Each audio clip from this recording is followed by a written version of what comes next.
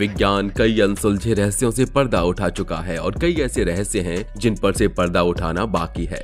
मगर लोग ऐसे रहस्यों को अध्यात्म से जोड़कर देखने लगते हैं या फिर अदृश्य और पराशक्ति मान पूजने लगते हैं। आपको बता दें कि प्राचीन काल की कुछ ऐसी चीज़ें हैं जो कब और कहाँ से आई हैं, किसी को नहीं पता। उनमें से कुछ राम युग के समय से जुड़ी चीज़ें हैं, जिनमें से कुछ चीज़ों का ज़िक्र तो ग्रंथों में भी किया गया है, लेकिन इसका साइंटिफिक अर्थ नहीं मिल पाया है।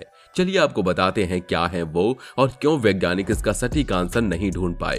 स्पेनिश स्टोन हैंग पुरातत्वविदों को दक्षिणी स्पेन में 500 से ज़्यादा खड़े पत्थरों का एक विशाल इलाका मिला है। ये महापाषाण काल की जगह बताई जा रही है, जो पूरे यूरोप में सबसे बड़ा इलाका हो सकता है। पुर्तगाल से लगे स्पेन की सीमा के दक्षिणी भाग में गुआडियाना नदी के पास एक प्रांत ह्यूएल्वा में ये पत्थर पाए गए हैं। ये पत्थर करीब 1500 एकड़ में फैले हैं। इस ज़मीन को एवोकेडा के पेड़ लगाने के लिए रखा गया था, लेकिन परमिट देने से पहले अधिकारियों ने इस साइट का सर्वे करवाना बेहतर समझा, क्योंकि उन्हें लगा कि इसके पीछे कोई पुरातात्विक महत्व हो सकता है। सर्वे में इन पत्थरों के बारे में ज़्यादा जानकारी मिली। यूएलवाई यूनिवर्सिटी के शोधकर्ताओं का कहना है कि इबेरियन प्रायद्वीप में एक साथ एक समूह में खड़े पत्थरों का ये सबसे बड़ा और सबसे अनोखा संग्रह है। उन्होंने कहा कि हो सकता है कि ला टोरेला जनेरा साइट पर सबसे पुराने खड़े पत्थर, छठी या पाँचवें सहस्त्राब्दी ईसा पूर्व के दूसरे भाग के दौरान बनाए गए हों। यह यूरोप का एक प्रमुख महापाषाण स्थल है। यहाँ खड़े पत्थरों की कुल संख्या 526 है। कुछ ज़मीन में अंदर तक दबे हैं। साइट पर उन्हें बड़ी संख्या में तरह तरह के प्राचीन पत्थर मिले, जिनमें खड़े पत्थर, डोलमेंस, टीले, ताबूत जैसे पत्थर के बक्से, जिन्हें सिस्ट कहा जाता है। शोधकर्ताओं ने कहा कि खड़े पत्थरों में 526 अभी भी खड़े हैं या ज़मीन पर पड़े हैं। इन पत्थरों की ऊंचाई एक से तीन मीटर के बीच है। उत्तर पश्चिम फ्रांस में कार्निक महापाषाण स्थल पर करीब तीन हज़ार खड़े पत्थर हैं। शोधकर्ताओं का कहना है कि यहाँ एक सीध में लगे पत्थरों की 26 लाइनें हैं और दो क्रॉमलेच हैं। ये दोनों पहाड़ी की चोटी पर स्थित हैं। कई पत्थर ज़मीन में गहरे दबे हुए हैं। उन्हें बहुत सावधानी से खुदाई के ज़रिए निकाला जाएगा। ये काम 2026 तक चलने की उम्मीद है। Centuries old city name out from under the ground. Many temples found. अब बात करते हैं जंगल में मिले इस शहर की। जंगल के नीचे से सदियों पुराना शहर मिला है। इस शहर में कई मंदिर, घर और बाज़ार होने के सबूत मिले हैं। हाल में इस शहर की खोज हुई। यह शहर माया सभ्यता से जुड़ा हुआ बताया जा रहा है।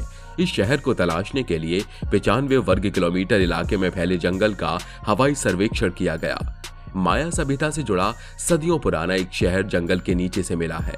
इस शहर में कई मंदिर, घर, बाज़ार और नहर होने के सबूत मिले हैं। शहर को खोजने के लिए लेजर इमेजिंग टेक्नोलॉजी का उपयोग किया गया है।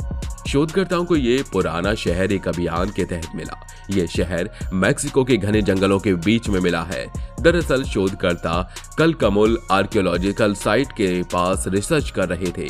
तब ये शहर मिला। एक रिपोर्ट के मुताबिक इस पुराने शहर में कई खंडहर मिले हैं। ये जगह कल कमल आर्कियोलॉजिकल साइट के अंडर में आती है। शोधकर्ताओं ने जंगल के अंदर छिपे इस शहर को तलाशने के लिए laser imaging, detection and ranging तकनीक का उपयोग किया। टेक्सास में मौजूद the national center for airborne laser mapping ने 95 वर्ग किलोमीटर इलाके में फैले जंगल का हवाई सर्वेक्षण किया। शोधकर्ताओं ने अनुमान लगाया कि यहाँ की जनसंख्या पचास हज़ार रही होगी और ये शहर 150 किलोमीटर के इलाके में फैला हुआ होगा। शोधकर्ताओं ने बताया कि 60 से ज़्यादा अलग अलग स्ट्रक्चर अंडरग्राउंड कॉम्प्लेक्स के अंदर मिले हैं। रिसर्चर्स ने इस बारे में बताया कि जंगल के बीच से कई मंदिर बाज़ार मिले हैं।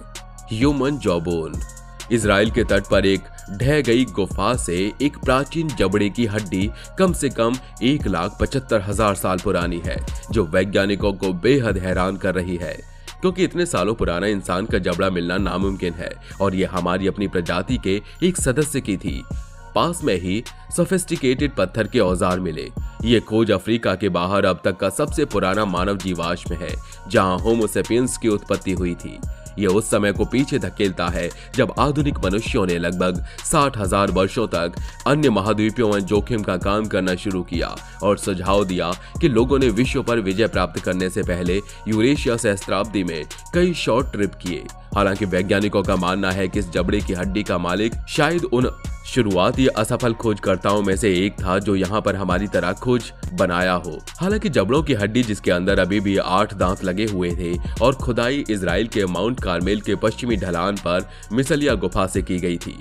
आज ये स्थल एक चट्टान के ऊपर से ढके मलबे की गड़गड़ाहट में गूंजता है। फिर भी लगभग दो लाख पचास हज़ार से एक लाख पचास हज़ार साल पहले इसके ढहने से पहले गुफा विशाल और गहरी थी। Mysterious box. साल अठारह का एक ऐसा बॉक्स जिसके अंदर कई लोगों की ज़िंदगी के रहस्य और इस बॉक्स को कई सालों बाद खोला गया। दरअसल ये बॉक्स अठारह के समय का था, जब इसे चीन और युद्ध के दौरान रहस्य के साथ दफन कर दिया गया। लेकिन जब पुरातत्वविदों को इसके बारे में पता चला और 600 साल पुराना ये बॉक्स उनके हाथ लगा, तब जाकर इसके राज उजागर हो पाए थे। हालाँकि रिसर्च ने कहा कि ये चीनी युद्ध के दौरान का है, क्योंकि इस लेटर में चीनी भाषा में शब्द लिखे गए थे।